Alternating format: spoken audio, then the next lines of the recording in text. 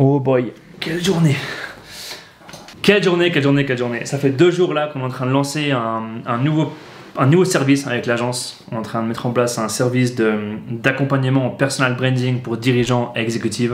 Ça fait un petit moment qu'on a ça en tête, euh, ça fait un moment qu'on le faisait aussi, mais c'était pas vraiment structuré, il n'y avait pas forcément de, de méthodologie, c'était vraiment un truc qu'on faisait comme ça, mais là on a voulu vraiment faire un truc classe, bien propre, bien nickel. Et ça fait deux jours là qu'on bosse, on est mardi soir quand je fais cette vidéo. On a passé lundi, mardi, mais en mode super, super créatif. du coup, je me suis dit, pourquoi ne pas prendre la caméra, la poser et parler un petit peu de créativité, parler un peu de comment réussir à être créatif, comment est-ce que nous, avec l'agence marketing qu'on a, on fait pour être créatif pour tous les clients qu'on a maintenant. vraiment, je suis, convaincu que la créativité, c'est un truc maintenant qui est juste super important, que ce soit pour une recherche d'emploi, que ce soit pour créer une start-up, pour lancer un projet. On, on a besoin d'être créatif, il faut être créatif. Et c'est une compétence qui est de plus en plus demandée par les employeurs. On a tous l'impression, en fait, qu'on qu'on est, est créatif ou qu'on n'est pas créatif. C'est un truc qu'on a ou qu'on n'a pas. Alors qu'en fait, c'est un truc qui se travaille. C'est vraiment comme un muscle. Je suis certain que c'est un muscle, la créativité, qu'on peut réussir à, à, travailler comme la discipline. Tout ce qui est lié au cerveau, en fait, on peut réussir à le travailler. On a souvent l'impression qu'on n'arrive pas à le contrôler, mais oui, on peut le contrôler, je suis certain. Et en tout cas, personnellement, il y a, il y a, a 6-7 ans en arrière, j'étais pas du tout créatif. J'étais vraiment la personne qui osait pas trop donner mes idées. J'ai l'impression que c'était pas des bonnes idées en fait. Et j'étais un petit peu sur la, sur la retenue. En plus, j'avais pas super confiance en moi. du coup, j'avais encore moins envie de donner mes idées. Bref, et en fait, du coup, j'ai vraiment dû bosser à fond cette créativité. Et je vais vous parler après de comment est-ce qu'on a fait avec l'agence pendant ces deux jours pour être créatif et pour mettre en place vraiment un petit peu le service qu'on veut lancer. Mais vraiment, je pense que la créativité, c'est ce qui euh, nous permet de se démarquer, de sortir de la jungle. Euh, si maintenant on veut trouver un job, c'est la créativité qui pourrait nous aider à trouver un truc, une autre façon d'aborder, une autre façon de parler aux recruteurs. Il y a plein de posts qui tournent à fond sur LinkedIn, des vidéos, des, des, des, CV en images qui ont été faits. Vous avez forcément vu ça. Bah, ça, c'est typiquement de la créativité, c'est trouver vraiment une autre façon de faire. Pour une entreprise, c'est réussir à trouver une façon d'innover. Pour innover, il faut être créatif. Pour être start-up votre projet, il faut être créatif. Et du coup, moi, en tout cas, il y a 6 ans, je n'étais pas du tout. Mais j'ai croisé un gars qui, était, qui bossait, à l'époque, il avait une boîte de communication. Et je lui dis, mais comment tu fais pour avoir des bonnes idées? Moi, j'ai l'impression que je suis nul en, bonnes idées. Je, peux voir ce qui se passe dans moi, mais j'arrive pas à créer des liens, j'arrive pas à trouver des idées. Et il m'avait dit, écoute, il y a plusieurs choses différentes, mais la première qu'il m'avait dit, c'était d'essayer de, penser en fait comme un producteur. Par exemple, tu es, à Lausanne, tu es en ville, tu marches, tu vois une affiche, Essaye pas de l'avoir comme un consommateur, de pas voir le produit ou le service, mais comme un producteur. Essaye de te mettre à fond à la place de la personne qui a créé cette affiche pour comprendre le produit, pourquoi il a mis ce message, ses couleurs, bref, de, se mettre vraiment à sa place, d'imaginer la personne créer cette affiche. Et en fait, ce travail de, créativité, de s'imaginer euh, comment créer ces messages, ça peut aussi aider un petit peu le cerveau, du coup, à imaginer, à penser différemment. Et après, ce que j'ai vu sur un, sur un site, sur, euh, je crois que c'était Cora, il me semble, le forum Cora, j'avais vu une personne qui avait dit qui prenait un, bloc-notes et qui l'écrivait en fait sur le bloc-notes plein d'idées créatives qu'il avait en tête. Et moi, je suis très visuel, j'aime bien voir les choses. Donc, ce que j'ai fait, j'ai pris un petit peu son conseil à la lettre, mais je suis allé me poser au Mac Café à Lausanne, à la gare, qui donne vraiment sur la gare. Donc, tu as, le flux de passage, tu as, les personnes qui font que de passer du matin au soir. Et en fait, je me posais et je devais trouver 10 idées de projets de start-up en me basant sur ce que je voyais en face de moi. Et j'avais le temps qu'il me fallait. Donc, en fait, je me suis dit, bah, tant que j'ai pas 10 idées, je ne pars pas de ce café. Donc au début, ça me prenait 2h30, 3h pour le faire, c'était galère, je me creusais à fond les idées, je voyais les gens et tout. Et en fait, à force de le faire au fil des semaines, bah, c'est devenu vraiment de plus en plus facile. J'avais de plus en plus de bonnes idées rapidement qui venaient vraiment vite à l'esprit. Et en fait, mon cerveau crée un petit peu des connexions entre les anciennes idées. Par exemple, il y a un gamin qui pleurait à côté de moi, qui faisait un bruit pas possible. Bah, j'ai pensé à faire une sorte de lolette horizon pour lui.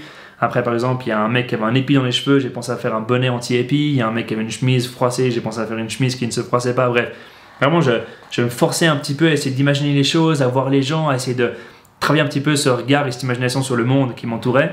Et après, l'autre chose qui m'a beaucoup aidé, c'est de rencontrer un max de personnes. Vraiment, c'est juste de voir un max de personnes, de parler avec un max de gens, et le fait de voir des personnes, en fait, ça m'a vraiment aidé un petit peu à m'inspirer de toutes ces personnes, leur parcours, leur expérience, euh, leur vécu, et en fait, le fait de faire l'éponge, de prendre toutes ces infos, bah, la créativité, c'est tout con. C'est juste un muscle qui va en fait créer des connexions entre plein de choses qu'on a vues, entendues, lues, qu'on a appris, qu'on a testé.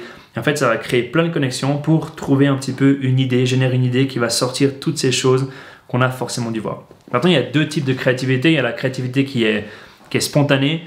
Donc oui, elle est cool parce que du coup, elle vient dans les instants où s'y attend le moins. Par exemple, quand tu te douches, moi quand je me douche, c'est impressionnant. Je prends une douche, à peine j'allume l'eau, à chaque fois j'ai plein d'idées qui, me tapent dans la tête où je me dis ah, ça, ça, ça, ça.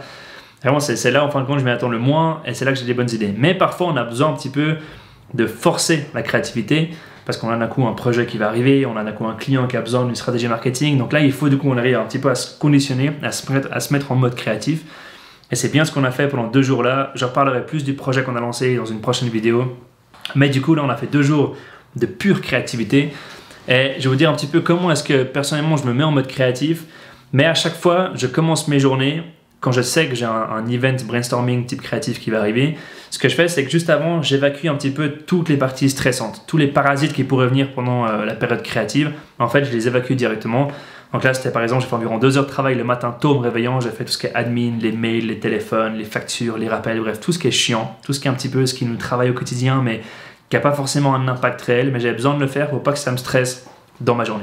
Après, ce que je fais à chaque fois, c'est que je fais une sorte, euh, j'ai un événement déclic, comme j'appelle, c'est une sorte de frontière entre la vie normale, si on peut dire, et la vie créative. Et moi, c'est le sport. D'aller faire une heure de sport le matin, euh, ou bien d'aller faire une activité sportive avant un mode créatif. Chaque fois, c'est un peu là où je me dis, ok, maintenant, je pense à rien à part la douleur physique, à part la dépense physique. en fait, mon cerveau est forcé de penser juste aux muscles que je travaille quand je suis au sport, et, en fait, je me rends compte que je pense quasiment à rien, à part vraiment l'instant physique, l'instant que je vis là dans la salle de sport. Et dès que j'ai fini ça, tout ce qui est parasite, c'est de côté. Mon cerveau, il est prêt maintenant à se concentrer sur des choses imaginaires, sur la créativité, et plus sur le physique comme je le fais avant. Et là, je suis prêt à 100% vraiment à être créatif. Et là, ce qu'on a fait avec l'agence, c'est qu'on est, on est, on est parti du coup euh, au Starbucks et ce qu'il faut souvent, c'est sortir un petit peu du bureau, c'est ne pas rester dans un cadre de travail qu'on a tous les jours, parce que si on reste maintenant dans son bureau, à la maison, dans son dans, son, sa salle de conférence ou peu importe. Le problème, c'est qu'on garde un petit peu en fait ces murs qu'on a quasiment tous les jours autour de nous. Et du coup, indirectement, on va penser en fait comme tous les jours. Et le but de la créativité, c'est de penser comme jamais. C'est vraiment de, sortir à fond de son cadre, de, de, se laisser le droit de penser tout et n'importe quoi. Et c'est bien là en fait qu'il faut réussir à, à sortir de notre cadre quotidien. Donc si maintenant vous voulez faire une fois un travail brainstorming créatif, sortez de chez vous, allez dehors, en extérieur, dans un café, allez ailleurs, mais sortez vraiment de votre bureau. Et je pense que ça va bien aider à, juste déjà ça, penser différemment, sortir un peu du, cadre de la routine. Donc on est parti au Starbucks et on s'est fixé pendant deux heures de brainstorming où en fait on a vraiment réfléchi à plein plein de choses différentes. Et je pense pour commencer ce qu'il faut c'est réussir à cerner le problème, cerner un petit peu le besoin, c'est quoi le truc qu'on va réussir à trouver, c'est quoi la solution qu'on a trouver, c'est quoi l'idée qu'on va réussir à trouver? Et une fois qu'on a réussi à bien cerner ce problème, qui est très important, il faut partir sur une phase un petit peu de divergence, où là on va réussir à, sortir un max d'idées, on va cracher plein de trucs sur la table, des post-it, on va écrire, on sort tout ce qu'on a en tête. Et il y a une règle d'or qui est très importante pour toutes les parties créatives, il n'y a aucune mauvaise idée. Il n'y a que des bonnes idées, il faut juste sortir ce qu'on a en tête. Dès l'instant où on a envie de la sortir, ou on a une idée qui nous, tombe, qui nous passe par l'esprit, il faut la sortir, elle peut que être bonne, il faut la sortir. Et après, on pourra s'amuser à voir, à les filtrer, laquelle est bien, laquelle est moins bien, laquelle est percutante, pas percutante. Donc il faut vraiment à chaque fois la sortir. Et nous, on a une règle un peu, c'est se dire que dès qu'on sort une idée, c'est pas la nôtre, c'est l'idée au client, l'idée au projet. Donc on sort l'idée, on la sort de la tête, on la pose sur une table, elle est plus à nous, elle est vraiment sur la table, elle est au client ou au projet qu'on doit réussir à solutionner. Du coup, on évite un peu ce côté égo, ce côté un petit peu tension, ce côté qui pourrait un petit peu euh, voilà, créer des, comment dire, des, petits, un petit, des petits conflits entre les personnes qui sont là. Et du coup, on n'a pas forcément peur de critiquer, d'être jugé, parce que c'est plus à nôtre, elle est vraiment sur la table, elle n'est plus à nous. Et du coup, donc après, on fait cette phase vraiment de divergence. Et une fois qu'on a travaillé sur un max d'idées, on fait une phase de convergence, où là, on va commencer un peu à les filtrer, à les sélectionner, à se dire, bah, elle est intéressante, elle est moins intéressante par rapport au projet, est-ce qu'elle a un impact réel ou pas? Et de là, on devient un poil plus sélectif. Et il y a une méthode qui est intéressante pour le faire, c'est euh, de se donner un nombre de points, par exemple 10, 15, 20, 30 points, et en fait de faire le jury un peu à la The Voice, où d'un coup on va se dire, bah tiens, je vais mettre 2 points ici, 3 points sur celle-là, 10 points sur celle-là, et on va répartir ces points sur différentes idées qu'on a en face de nous. Et nouveau, ne pas se dire, je vais prendre que les miennes, au contraire, vraiment se dire laquelle me paraît vraiment au fond de moi être intéressante. Et là, une fois qu'on fait un petit peu ce vote, on peut réussir à se dire, ok, bah, on va garder une shortlist par exemple de 3 à 5 idées, on prend les 3 à 5 qui ont plus de votes, on les garde et là on fait un challenge de ouf où on se pose un max de questions sur les idées, est-ce que c'est intéressant, pas intéressant?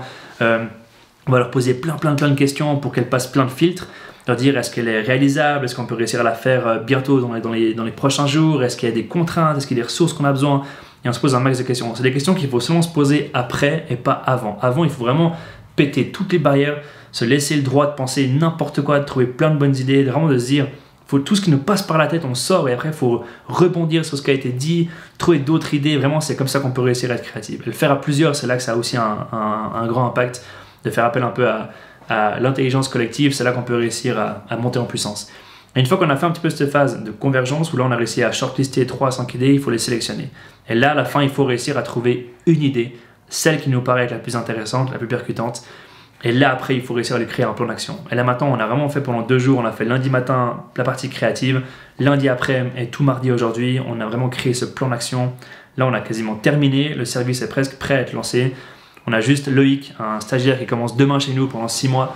Du coup, on va le prendre sur le projet un petit peu pour réussir à challenger encore plus le projet qu'on a maintenant, les idées qu'on a eues. Et très souvent, on a peur de pas en fait donner son idée parce qu'on a l'impression qu'on n'est peut-être pas assez bon. On se dit, ils vont dire que je suis con, ils vont dire que c'est pas cool, c'est pas intéressant, ils vont dire que ça n'a rien à faire là franchement, sortez là, quoi. J'ai tellement de personnes que je connais dans mon réseau qui m'ont dit, ouais, mais tu sais, euh, dans ma boîte, on fait, on fait les choses d'une façon X et je pense, je pense qu'on pourrait mieux faire. J'ai bien envie de leur dire qu'on pourrait mieux faire, mais j'ose pas. J'ai peur qu'ils me disent que je, suis, que je prends trop de place, que je fais peur. Franchement, c'est ouf, quoi. Je trouve que la créativité, c'est vraiment un truc qui est, tellement important de nos jours et c'est ce qui fait qu'une boîte se démarque, c'est ce qui fait qu'une personne qui est en recherche d'emploi se démarque. Vraiment, franchement, en tout cas, nous, on le fait quasiment tous les jours avec l'agence. c'est notre cœur de métier, j'ai envie de le dire. Mais voilà, du coup, c'est un peu une petite vidéo sur la créativité. Dites-moi si ça vous plairait que je fasse une autre vidéo plus spécifique sur les méthodes de créativité, vraiment sur, euh, je sais pas, deux, trois méthodes concrètes de créativité qu'on pourrait utiliser. Dites-le moi, je le ferai avec grand plaisir. Et euh, je suis en train de réfléchir à un nouveau petit concept de vidéo, un peu plus en type vlog sur mes journées. Et euh, les six prochains mois qui vont arriver avec l'agence, c'est des mois qui vont être vraiment bien drastiques, qui vont bien être chargés. On a plein plein de trucs qui vont arriver. Et je me suis dit, pourquoi ne pas essayer de faire une petite série un petit peu euh, sur les six prochains mois? Je vais brainstormer un petit peu ça en mode créatif justement pour trouver un petit peu des idées par rapport à ça. Et j'en reparlerai dans la prochaine vidéo, je pense. Mais j'ai envie de créer un petit peu une sorte de série vidéo sur les six prochains mois pour documenter vraiment un petit peu le parcours que je vais essayer de mettre en place. Je suis sûr que ces six mois, l'année a mal commencé, on va dire, pour 2020. Mais maintenant, je pense c'est maintenant qu'il faut réussir à, reprendre à fond la force, à remonter à fond la courbe et du coup, je pense qu'il y a plein de choses de ouf qui vont arriver. Et j'ai bien envie de documenter un peu ça, mais du coup, j'en reviens tout bientôt. Bref, voilà pour cette vidéo. J'espère qu'elle vous aura apporté un petit peu des idées sur la créativité. De nouveau, dites-moi en commentaire si ça vous plairait que je fasse une vidéo peut-être plus complète sur les méthodes de créativité avec des méthodes vraiment euh, euh, bien en détail. On se retrouve tout bientôt pour une prochaine vidéo. D'ici là a pas un truc souris à fond, ça fait une immense différence. Et à tout, tout, tout bientôt. Ciao à tous